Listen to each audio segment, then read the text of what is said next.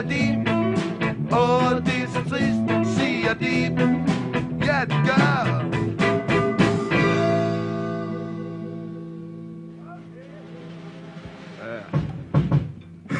Ja. Er det rigtigt tempo?